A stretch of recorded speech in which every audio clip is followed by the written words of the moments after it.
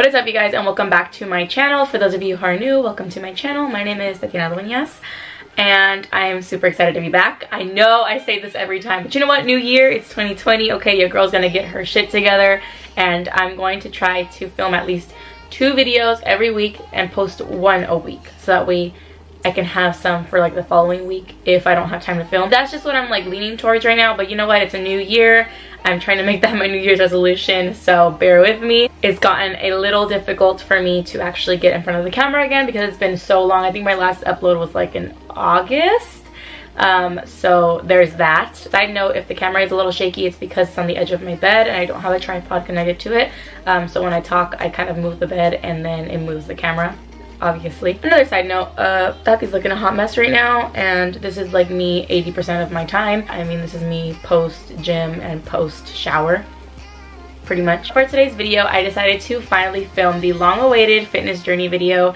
I know a lot of people have asked me to film this and to talk about it and, you know, to talk about what's helped me, what's worked for me, what hasn't, uh, so on and so forth. Again, I'm not a professional and I'm not a nutritionist and I'm not like a personal trainer.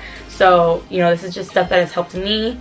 This is stuff that has helped me, you know, progress the most. So I wanted to share it with you all just in case um, a lot of you have that New Year's resolution to change yourself for the better. It's totally fine. We all go through those changes. Mine actually happened last year um, beginning of 2019. So I'll be going more into detail on that like in this video. But before we get started, don't forget to give this video a huge thumbs up and also subscribe down below if you are new and turn on the little bell icon so you'll be notified whenever I post future videos. It's a new year. Tatiana's gonna be on her shit, okay? I'm, I promise. I pinky promise you guys at this point. Without further ado, let's get straight into the video.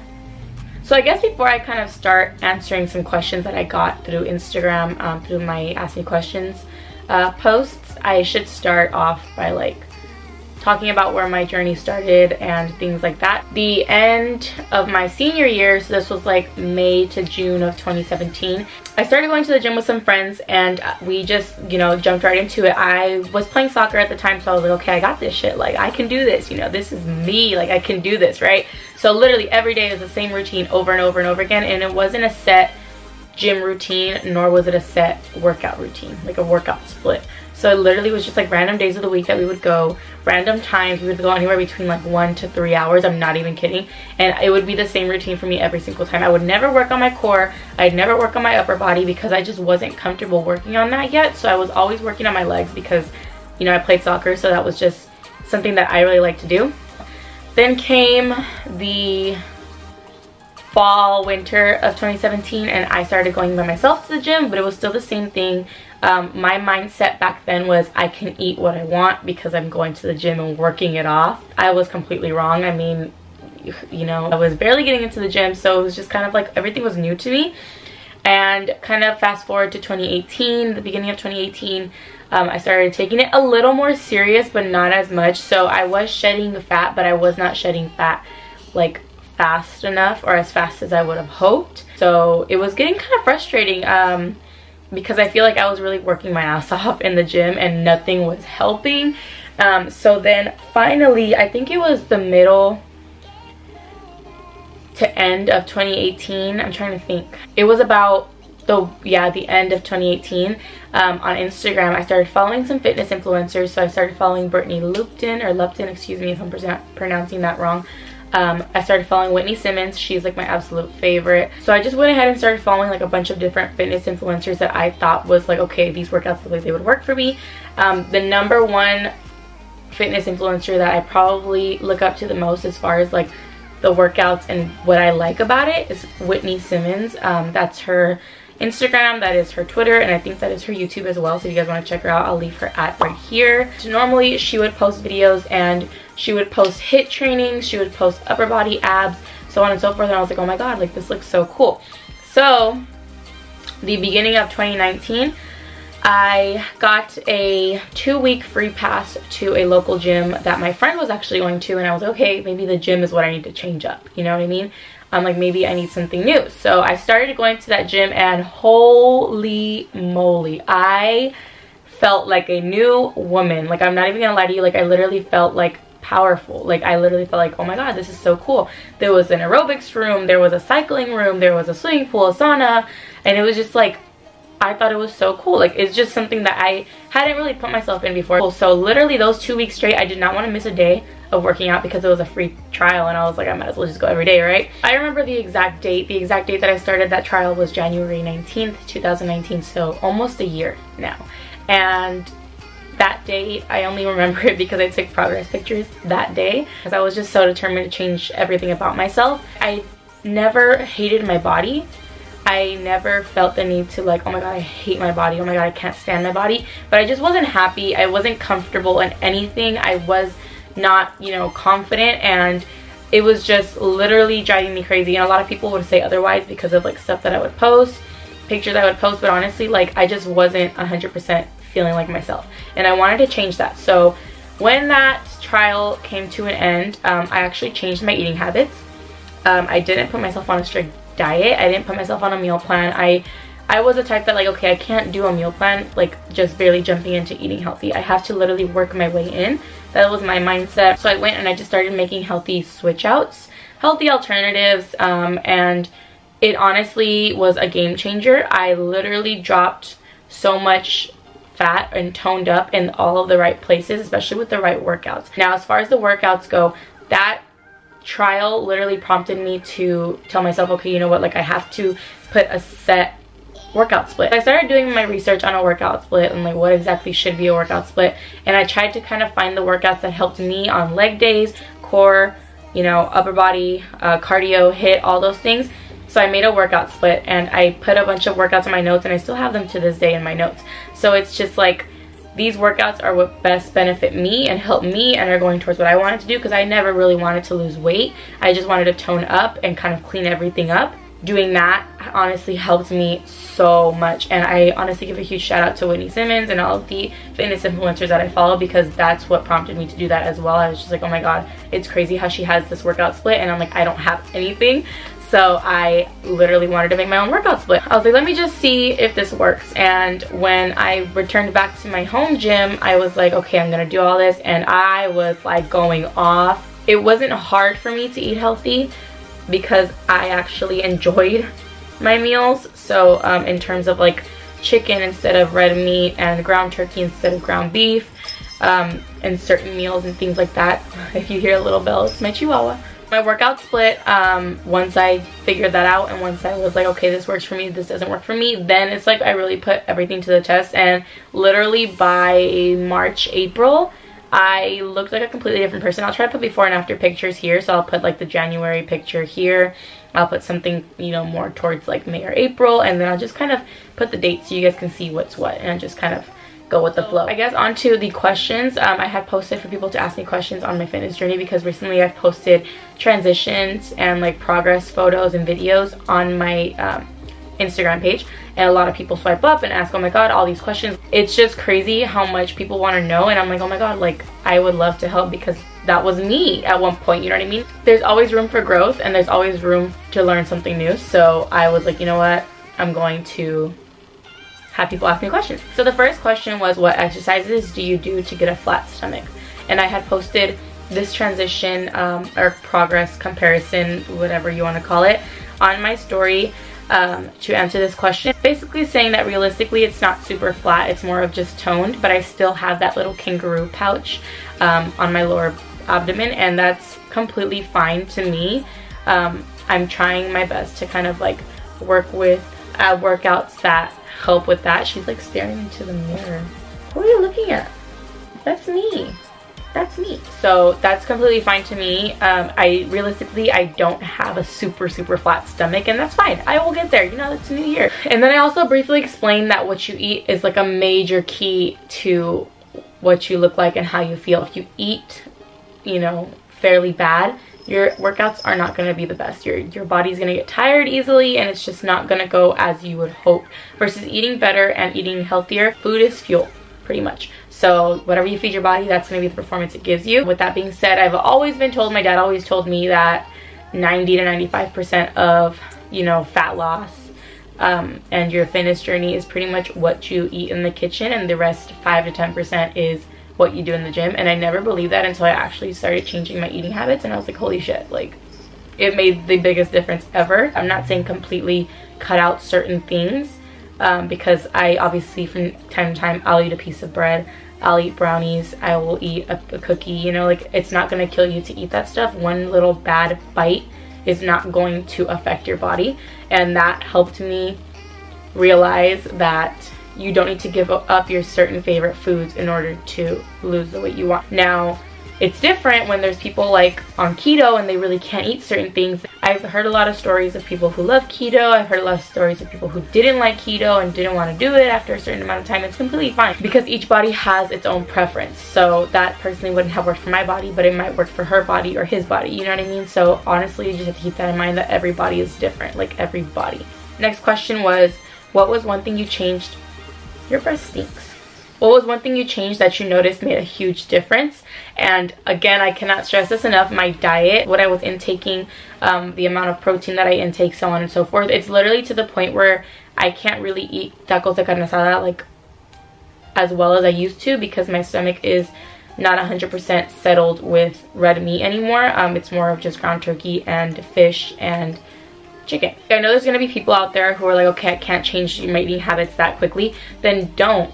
Just kind of another thing that falls behind like the eating habits is portion control. And honestly, I still eat sweets from time to time. I will still get a frappuccino from time to time. I'll still take like and take sugars from time to time. That's just how I see it. So um, one thing that I did learn that really, really helped me um, from Whitney Simmons was if you want a bite of that cookie, you take a bite of that cookie. It's not going to kill you to take one bite of a cookie. It's not going to throw your body off balance.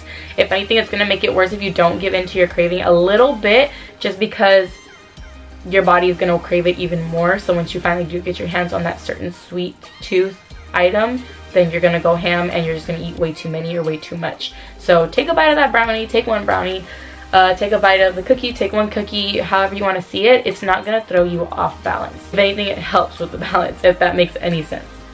Do you create your own workout plans or do you get them from an app or something? Um, as I mentioned before, I don't get my workouts from an app and I do create my own workout split. I do get my workouts from the fitness influencers on Instagram, so I'll kind of just bookmark certain workouts that I want to try or that I want to give a try um, or that I want to kind of just incorporate into my workout. So I'll go ahead and just bookmark it and then I'll go back into it um, afterwards and it honestly is a lifesaver. Any at-home booty workouts you recommend or like? I rarely work out at home, um, so I really couldn't answer this question. I tried to answer it to the best of my ability, but pretty much glute activation is key, especially if you're at home and you have no weights, but you have a booty band. Um, I will link the booty band that I own down below. I got it from Amazon. Um, it's not a rubber one, it's more of the elastic um, sturdy material. I don't the woven material. I don't even know what, what it's called, but I will link it down below. It's super thick and it honestly works wonders. It gets your glutes going and it gets that pump in. Like you literally feel that pump after like the first two sets of glute activation. So I will also link down below um, some glute activation workouts that I personally like doing at the gym. But like I said, I don't normally work out at home, but those will definitely work out at home if you don't have time for the gym because I know life gets busy and sometimes people can't make it to the gym and that's a-okay. That was literally um, asked about three times. So it's the same thing. Um, I will link all that down below. What are some things that you eat like for breakfast, lunch, and dinner? So to answer this question on my Instagram story, I actually went ahead and referred them to my highlights. So on my Instagram highlights, I have a little um, highlights for specifically eats. So it's just food pretty much that I've made or that I bought that I really, really like. Everything is shared on there. It's anything from protein pancakes to um, healthy alternatives for like syrup, healthy alternatives for fries, healthy alternatives for whatever the case may be. But there also is um, every now and then like spaghetti or pasta and you know for pasta I'll have brown rice pasta or chickpea pasta um, just to kind of give that healthy alternative and it's still 100% bomb I promise you the recipes are all in there that I've used so if you do follow me on Instagram, go ahead and check that highlights out. And if you do not, I will link it down below. Next question, how often do you work out and for how long? So I kid you guys not, when I first started going to the gym and working out, like however I thought I did, I was literally going every day of the week. Every freaking day of the week. Now I literally only go um, anywhere between four to six times a week and I'll, I'll go at most for an hour and a half. I, I kid you guys not, at one point I was going for three hours. I'm like, who has time to go to the gym for three hours? Oh my god like who was i i'll literally go for the most part an hour and a half Sometimes it'll boost up to two hours, but that's only because I like to get a good stretch in before and after my workout. It honestly just depends on um, how I'm feeling. So I'll either cool down or I'll stretch um, after a workout and that honestly um, determines how long I've really been at the gym. Four to six days a week and at least one to two rest days. Um, and rest days, I cannot stress this enough, are so important for you, for your body, for your recovery. And I never really knew the importance of it. I always thought like, oh my god, if I skip a day at the gym, I'm gonna lose my training. I'm gonna lose my focus. I'm gonna lose my motivation. But that was just honestly all in my head. At this point, I take one to two days a week to rest and it is the best thing ever. I sleep, I clean, I do what I gotta do, and then I'll go back into the gym the next day and it's just like I never left. If you don't already take rest days, I highly suggest you do because it is so important, honestly. Workout routine, please. Okay, so before I start filming a workout routine for YouTube, I'm actually gonna start filming it just to post on Instagram to see what people like and don't like, what you guys wanna see, what you guys don't wanna see, what you guys find helpful and what you guys don't find helpful. Uh, but I do want to start posting them on my Instagram. I don't know if on my feed or on my stories and then just kind of like adding my favorite workouts to my highlights. Um, we'll see how that goes. I'm still kind of working out the kinks on that because I also don't have a gym um, partner. So I want to make sure that I, you know, get all that situated first. But you guys will be the first ones to know. What kept you motivated to stay consistent? Definitely the progress. I am big on progress pictures. Even if you feel like you don't look your best in a certain picture, take the picture. You will thank yourself later once you start working your ass off and start seeing the results that you want to see. Even if you look at the mirror, like, ew, I don't want to take a picture, take the picture. Or have someone else take the picture because those are going to help you realize how much change is in you, like how much change you are capable of. Even if it's just a facial picture, I know for me, the first sign of weight loss and weight gain is going to be like all right here and I noticed because when I first started losing the weight back in like March of 2019 my aunts actually asked me they were like oh my god like are you losing weight? And I'm like uh no how can like why did you assume? And they're like well you can see more definition in your face. So it just honestly depends on what you want to take the picture of whether it be your face or your body. I highly recommend that you take those pictures. Do you track your calories and macros? I do not. Like I mentioned in the beginning of this video, it never really was about the weight loss for me. It was more just about toning up. And honestly, like side note, off topic, but still kind of on topic, um, just to give you guys an idea, I am literally only two pounds lighter in this picture than in this picture. I am literally only two pounds lighter. Um, it's not really about the number on the scale for me. The only reason why I even know my weight is because when I go to the doctor, obviously you get weighed and stuff. So I get the updates through there, but I've never been big on the scale and on the numbers on the scale and it's just not me. But I don't track my macros or my calories because I feel like I'm okay right now as far as eating. I have a good like balance, a good healthy to non-healthy ratio. I'm not saying for every healthy meal I have I'm gonna have a cheat meal, that's not how it works. But I eat fairly healthy and I feel pretty good so I don't think I need to track my macros. But like I said, some people do, some people like doing that and makes them feel better and more motivated and that's completely fine. That's just, you know, not for me. Any meal plan suggestions? I'm not really big on meal plans. I've never done a meal plan. I actually want to, um, to kind of just have them set, you know, for the days. I feel like I can, but I just don't have the time. I guess it just depends on what you're working towards, toning or weight loss or so on and so forth. Um, but I will say that for your meals, um, what has helped me tremendously was cutting out bread and replacing bread with like rice cakes, things like that. Um, and also cutting out dairy. So the only dairy that I intake currently is through my protein powder and my protein bars and occasional yogurt. Um, and then also salt. So you want to be really, really mindful on sodium and what how much sodium is in each thing that you consume. Because when I prep my meals, I prep them with no salt seasoning. So at Costco, I'll actually post a picture right here. At Costco, we bought to this um, organic salt-free, no salt seasoning, something like that. Um, but it's super good. It adds a lot of flavor to your food. I also get the Mrs. Dash salt-free seasonings. They have like um, vegetable table seasoning. They have like um, lemon pepper seasoning. They have um, chipotle seasoning um, and it really really helps so that's honestly the top three things that have helped me so much thus far I feel like once you start making those little changes, it'll be so much easier to start making the big changes. Just be mindful, like I mentioned before, everybody's everybody's body is different. So what works for me might not work for you, vice versa. Like I mentioned earlier in the video, I can't hold down red meat like I used to. And it's honestly 100% okay because everybody's everybody's body, tongue twister, everybody's body is going to adjust to its own diet and meal changes. You know, you're gonna find things that I've suggested that probably don't work for you and then make you kind of feel sick. Vice versa, that can go for me if someone was to recommend certain things to me that I don't like.